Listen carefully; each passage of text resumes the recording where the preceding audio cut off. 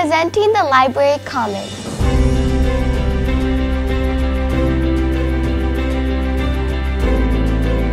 Out are the big, heavy wooden tables and chairs. In comes the functional, movable seating options that meet our needs in the ever evolving, fast paced world of today.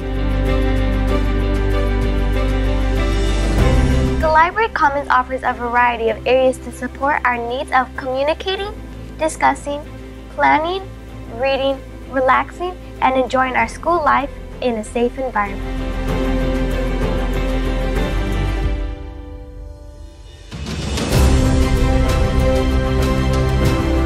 This new age library is the opportunity we need to engage in reading and strengthening our social and cultural fabric of our school community.